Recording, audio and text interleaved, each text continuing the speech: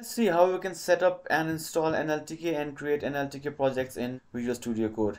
First, let's create a project folder. Let's call it NLTK project. In this folder, we will create our NLTK project. So let's open Visual Studio. And now let's open that folder here. One folder. And select this folder now in this folder let's create a main file and let's try to import NLTK so as you can see I'm getting a warning NLTK is not accessed. It means NLTK is not yet installed. So what you can do is you can go to terminal create a new terminal and type install sorry pip install NLTK now if you get an error message when you run this command that says pip not found or pip not installed or something like that then you will need to install pip. Check the first link check the first link in the description they will show you how to install pip. After you install that you can run this command like this.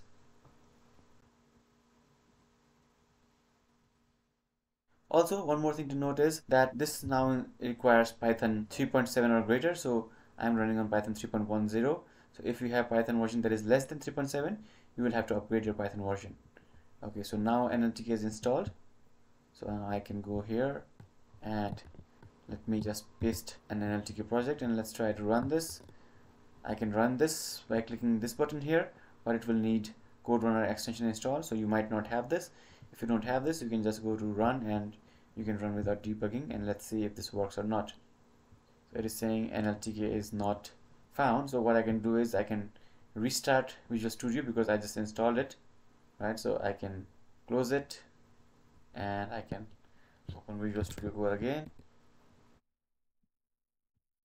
I'm still getting this error.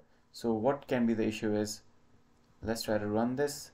And if I click on run without debugging and you will see here okay it is correct. So let's see if it is installed or not by typing python m nltk version. This will show which version of nltk is installed. So it is saying no model named nltk so let's try to install it again. Okay so it is using python 3.11 here. Let's try to change our compiler here. Let's try to use python 3.11 itself and let's see. So our python 3.11 has nltk installed. Now let's try to run this. And as you can see it has now run successfully but it is showing that we need to install this thing also. So to download this you just need to add import nltk and then you need to download that using nltk like this. So now you know how you can install nltk and how you can change your python version that is being used